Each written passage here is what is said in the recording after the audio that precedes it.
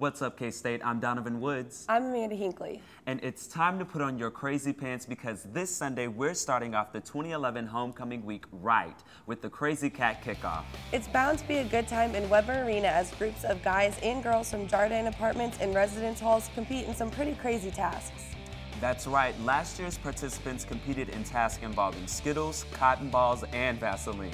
This year, who knows, but the winning teams will be awarded homecoming points for their groups. So if you think you're down for some crazy competition, come on out to Weber Arena this Sunday, October 23rd at 6 p.m.